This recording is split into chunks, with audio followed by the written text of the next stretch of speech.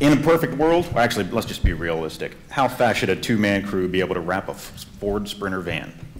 Oh, jeez. Matt, you sound like one of my clients. How much to, how much to wrap a vehicle for? That's the wrong What's that Sprinter? Are we talking long axle, short axle? Uh, for us, uh, two guys with a Sprinter, we'll probably say what, 10 hours, 12 hours? Uh, in a real world, if we're, depending on if we're doing window perf and the whole nine and roof, it could take us two guys, two full days to get it done the proper way out of our shop. We're not super fast, but, um, uh, a large Sprinter would take at least two days to install for us. Uh, Adding three guys could knock it down to a day.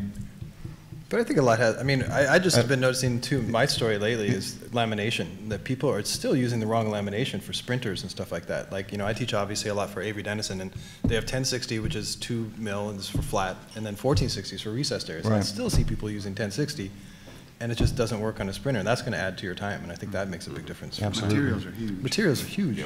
And your environment as well, so I mean, there's a lot of things that go in play with it, so. Well, Absolutely. I, I think that's too is if we printed it or was the kit kit shipped to us. Yeah, yeah, yeah. Who, who produced the whole- graphic as well? so. that changes the whole scenario, and pre-mask on top of it always helps. Sometimes, uh, some people prefer to have horizontal panels. It's less panels that you need to line up, and some others, if you're working by yourself, you might just want to have vertical panels and can go along really fast. Uh, sometimes it takes just as long to clean a vehicle that, that, than it does to install it, because uh, you want to you want to clean completely thorough and make sure you don't have to come back and once you start pulling the back and realizing, oh, this is not clean, and you know you're gonna have a lot of downtime by just like going back and forward, just making sure everything's clean.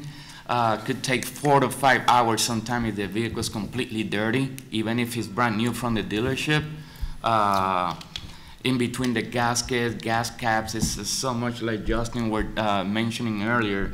These RVs are loaded with silicone, trailers are loaded with silicone, and you don't want to stick vinyl and realizing nothing's sticking because it's nothing you can do. Then everything's gonna stick to the back of the vinyl, and uh, and there's no way you could go ahead and stick your hand behind the vinyl, pull all that silicone, and still make it look good. So. Uh, on our shop, I will say a sprinter like that, it's, it's about right, uh, eight, 10 hour with, uh, really good installers.